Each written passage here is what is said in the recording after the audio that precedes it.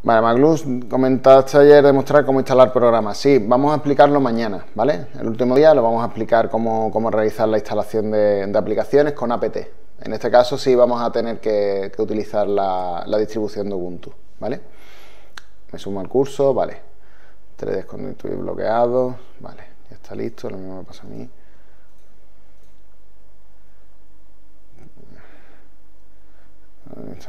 ¿Qué pasa con GNU?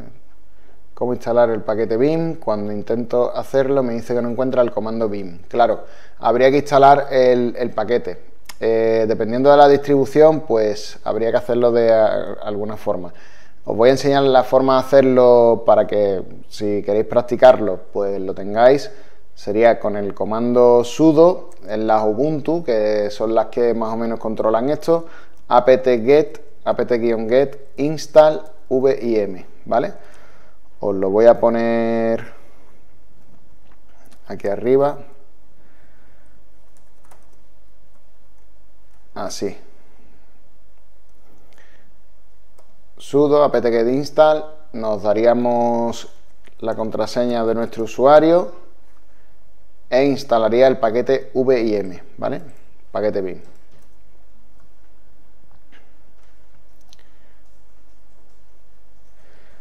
Vale, Daniel dice, hace un par de días creé un alias que me funcionó bien, pero al cerrar la terminal se eliminaba, ya no me funciona. ¿Es normal? Sí, es normal porque los alias que, nosotros estamos generando en la misma terminal, Daniel, son alias efímeros. Es, decir, para tú conservar el alias que has generado, tienes que meterlo en un fichero, ¿vale? En un fichero que no he explicado, pero bueno, ya que te has puesto a, a eso y ya que lo has preguntado, lo voy a decir. Hay un fichero oculto en el sistema que se llama bashrc, que si nosotros lo editamos, vamos a utilizar nano para la edición. Vamos a tener aquí una serie de, parámetros que van a definirnos cómo va a ser nuestro, nuestro shell, ¿no? nuestro bash.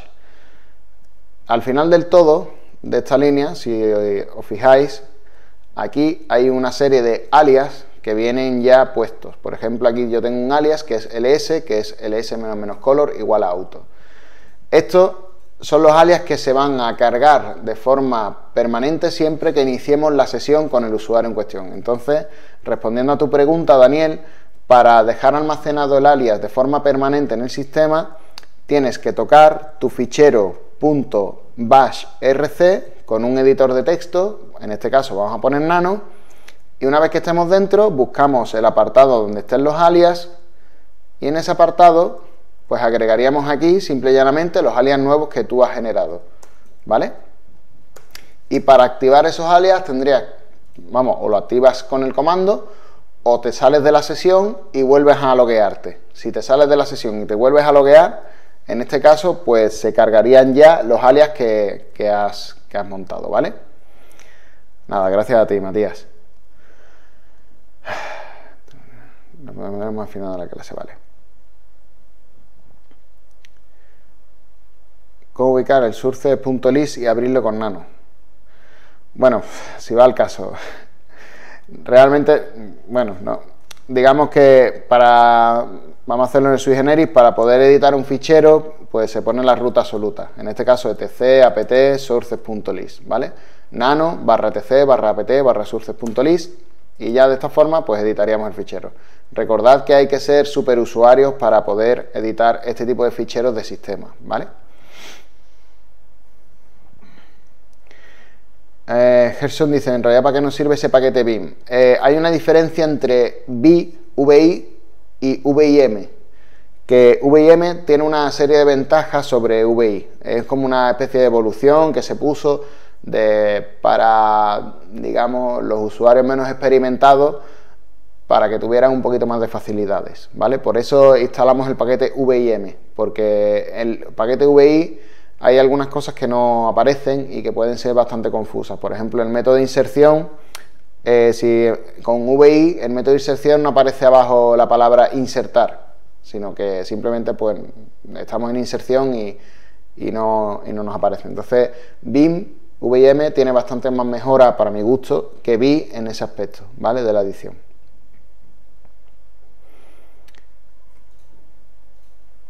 Vale. Vale, Covid, ya, ya te estamos leyendo los tweets.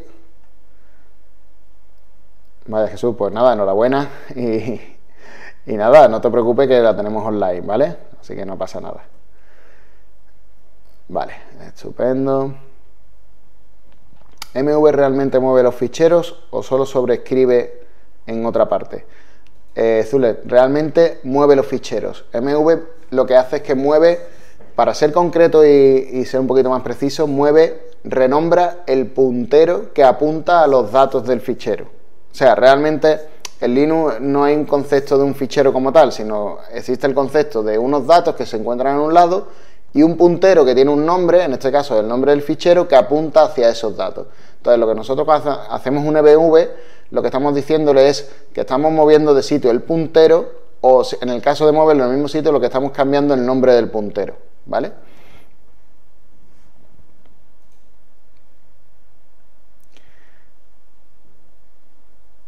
Si necesitas borrar solo el contenido de un directorio, Hugo, buena pregunta, si queremos borrar solamente el contenido de un directorio, pues vamos a irnos a nuestro TMP y vamos a decir rm, porque no nos haría falta la R, porque si es, bueno, en el caso de que el contenido del directorio tenga otros directorios, pues sí, sí sería, sí haría falta, ¿vale? Tendríamos permisos 2, pues aquí tenemos ficheros y directorios, ¿vale? Pues vale, pues entonces vamos a poner el parámetro menos R y le vamos a poner detrás del directorio permisos 2 un asterisco. Y esto me va a conservar el directorio porque yo le estoy diciendo que me borre todo lo que hay aquí, en vez del directorio. Me, va a borrar todo el contenido que hay en el directorio. Con el parámetro, el comodín asterisco, nos va a borrar todo. Entonces, bueno, pues nos va a decir que si queremos descender, que si queremos... Bueno, este por supuesto me ha dado permiso denegado, por tanto no, no he podido borrarlo. Pero sigue estando el permiso 2, ¿vale?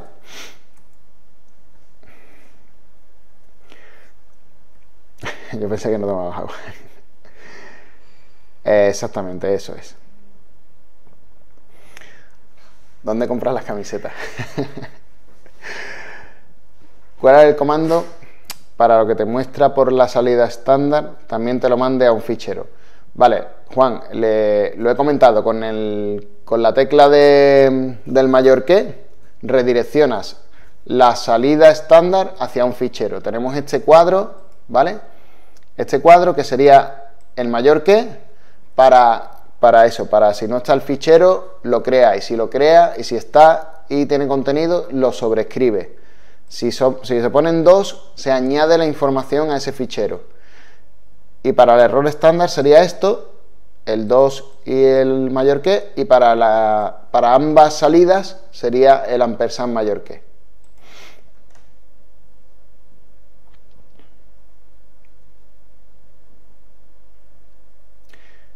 Vale, sí, buen apunte, Jones. Exactamente. Siempre que se quiera cortar algún comando, con la tecla, combinación de teclas control más C, se puede cortar cualquier comando, ¿vale? Vale. Eh, voy, voy, voy. Con respecto al comando locate, se puede decir que es equivalente a la función index server en Windows. Bueno, más o menos, el funcionamiento viene a ser el mismo, solo que el index server en Windows va indexando de forma viva, va indexando siempre lo que son los ficheros, con lo cual funciona muy bien tono irónico por supuesto, y, el comando locate pues lo vamos ejecutando cada cierto tiempo, sobre todo en, eh, es una tarea programada que se ejecuta cada cierto tiempo, creo que es cada hora me parece, y además nosotros lo podemos ejecutar a mano, pero realmente no tiene la, digamos, la, la continuidad de index server en Windows. Eh, Roberto, eh, no, no existe ninguna diferencia entre los comandos porque lo que estamos hablando son comandos Linux. Mm, da igual que utilices Mint, que utilices Ubuntu, que utilices Arch, que utilices lo que sea. estos comandos son para Linux, no, no, se basan en distribuciones, se basan en lo que sería Linux. Vale, Maglus, pues muchas gracias. ¿Cómo numerar líneas en BIM? Eh, numerar las líneas, pues dentro de BIM, mmm, ahí más cogido. Tendría que mirártelo, ¿vale, José? Le, le echaré un vistacillo. ¿Los administradores tienen que programar mucho? Pues, mmm, hombre, yo la verdad es que sí, programo bastante, eh, sobre todo Shell Script, eh, también estoy con software de Puppet, que es un software que se encarga de la, de la, configuración centralizada de servidores y se basa en el lenguaje de Ruby, en base a unos manifiestos, en fin. Al fin de cuentas, eh, el día de hoy es que todos los administradores deberían de saber un poco de desarrollo y todos los desarrolladores deberían de saber de sistemas.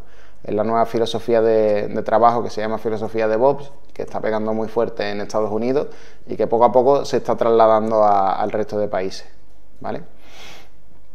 Atom, eh, no, no se pueden, bueno, verás, no se pueden descargar.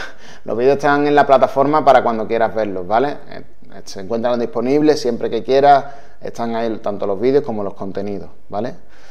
Ubuntu recomienda guardar los alias personalizados en el bash aliases. ¿Qué opino? Pues, por supuesto, si Debian Ubuntu los recomienda, pues habrá que, echarles cuenta que para eso son los creadores de la distribución. Yo normalmente Suelo hablar del punto base RC porque es una generalidad, pero cada distribución ya luego, pues si tiene unas recomendaciones, habrá que seguirlas. Siempre es recomendable seguir las recomendaciones de la propia distribución y no saltárselas a la ligera porque, bueno, pues ellos lo han pensado de esa forma, por algo será, vamos a respetarlo, que para eso han sido ellos los creadores de, de la distribución. Usando expresiones regulares con find, pues por supuesto se pueden utilizar, pero pero no nos confundamos, no son expresiones regulares, son caracteres comodín, ¿vale? Las expresiones regulares se utilizan en las búsquedas de texto. Lo que nosotros estamos utilizando en, con comandos son patrones de, de ficheros, o sea, perdón, patrones de, patrones de caracteres comodín.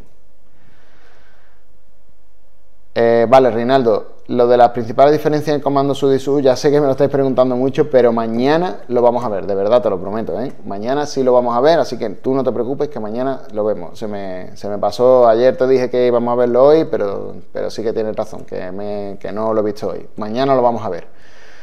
Eh, sudo apt me suena más, vale, perfecto.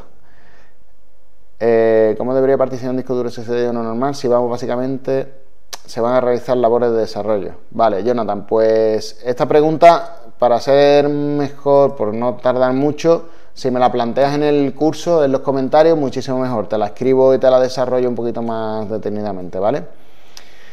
Con esto no te sale por pantalla. Ah, vale, tú dices pantalla y fichero. Vale, sí. Eso, bueno, no lo estamos haciendo en el curso, pero es con el comando T, ¿vale? El comando T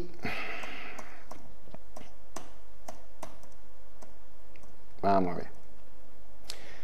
Pero ya tendríamos que ver la tubería, ¿vale? Tendríamos que ver la tubería y pondríamos T y el nombre del fichero. Entonces esto redirige tanto por la salida estándar como por el fichero